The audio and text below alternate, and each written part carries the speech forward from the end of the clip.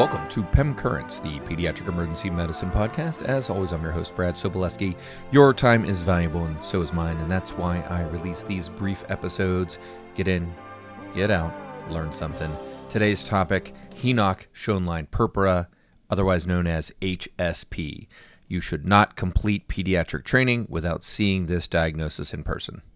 What is it? Well, HSP is an IgA vasculitis that commonly occurs in children. The peak age is between four and six years.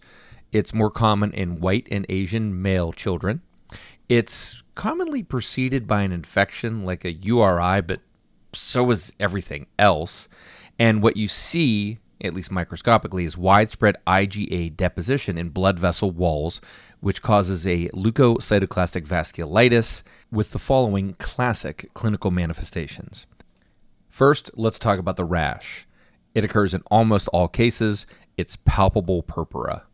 It often starts as a wheal that progresses to look more ecchymotic, petechial, and then ultimately the purpura that are raised. You can kind of feel them as you run your hand over the skin.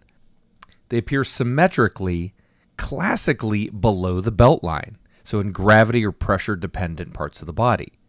So buttocks, legs, groin the rash is usually not pruritic, and sometimes it can be just a little bit uncomfortable.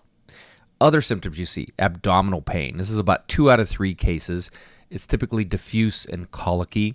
You may see vomiting and bloody stools because intussusception can occur.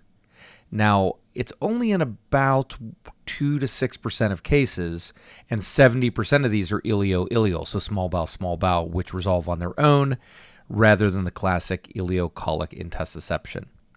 Patients will also have angioedema of gravity dependent portions of the body, a lot of times the lower extremities and scrotum, but also of the scalp, eyelids, back, and feet. This may be one of the first signs, so scrotal swelling can appear before palpable purpura.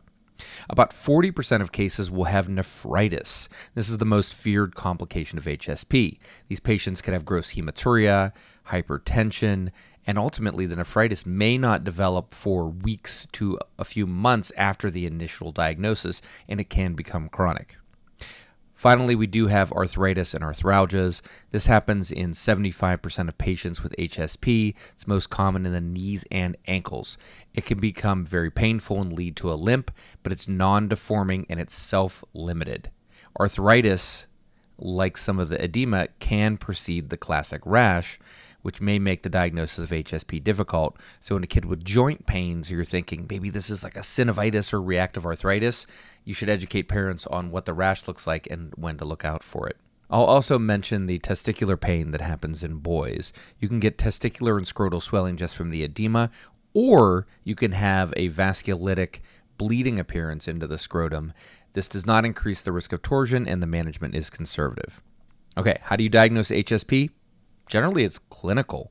You don't really need labs, and if you get them, they're non-specific. So if you're considering ITP, or if the patient looks really ill and you think it might be meningococcemia, then yeah, you're getting a CBC, those sorts of things. If the diagnosis is still in question, or there's significant renal disease, or it's a chronic presentation, skin biopsies of the lesions can help confirm. But ultimately, really all that you need is a measurement of blood pressure and a urinalysis. The urinalysis is to look for blood and protein if you're concerned about nephritis. If you're concerned because the patient has significant abdominal pain and you're worried that they might have intussusception, ultrasound is the management. And again, I mentioned earlier that this doesn't really increase the risk of testicular torsion, but a patient with massive scrotal swelling and discomfort should get a scrotal ultrasound as well. Treatment of Henoch Schönlein purpura is generally supportive. NSAIDs are often used and are successful for pain management. But if you have GI bleeding or renal disease, you're going to want to use caution. Acetaminophen is also helpful as well. Steroids like prednisone, 1 milligram per kilogram per day, is generally not indicated for the vast majority of patients unless they have renal disease or severe abdominal pain. But there is some equipoise in the evidence, and most patients, in my experience, are fine to be managed as outpatients with over the counter pain medicines. And again, if the patient looks well, they can ambulate, they don't have severe abdominal pain, they're not hypertensive, and they don't have blood or protein in their urine, they can be sent home. I would have them follow up with a primary doctor within the week for repeat blood pressure measurement and a repeat urinalysis. If you're worried about significant kidney disease, obviously get pediatric nephrology involved. Patients with severe abdominal pain, vomiting, dehydration, severe renal disease, they can't walk because of pain, do need to be admitted.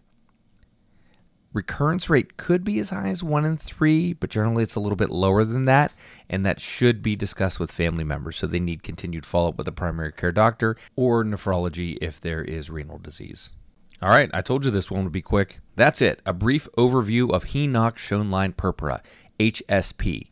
Do yourself a favor now that you've listened to this episode and go ahead and look at pictures of the rash. That way, when you inevitably see it, you'll know what you're looking at. If you've got any feedback, especially about these brief episodes, or there's other topics that you want to hear, drop me a line. Email, comment on the blog, review on your favorite podcast site via Twitter or X or whatever it's called, or any of the other social media platforms. Any and all feedback is welcome. Subscribe to future episodes and tell your colleagues to listen as well. For PEM Currents, the Pediatric Emergency Medicine Podcast, this has been Brad Sobolewski. See you next time.